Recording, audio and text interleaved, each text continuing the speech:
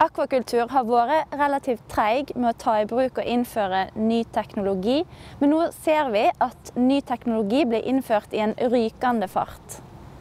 F.eks.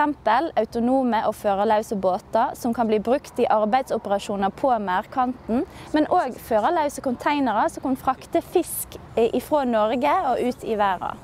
Nå ser man òg flere utviklingskonsesjoner som blir tildelt på bakgrunn av ny teknologi. Nå er det fem som har blitt godkjent, og 42 som er under behandling, der man ser ulike nye system, som lukka system, semilukka og oppdrett på land.